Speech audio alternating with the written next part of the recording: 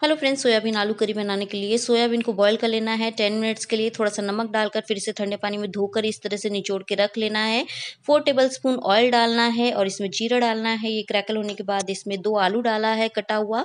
साथ में थोड़ा सा नमक डालना है। आलू के हिसाब से मिक्स करके इसे सिम करके रख देना है स्लो फ्लेम पर जब तक आलू अच्छे से पकना जाए एटी अब इसे खोलकर चेक करेंगे, प्याज डालेंगे और साथ में इसको पकाने के बाद अदरक, लहसुन को डालकर भून लेना है अच्छे से।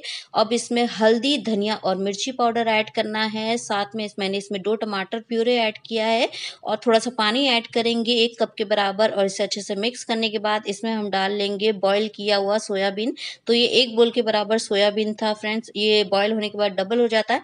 अब सोयाबीन के हिसाब से हमें नमक डालना है और इसे अच्छे से मसाले को ड्राई होने तक पकाना है।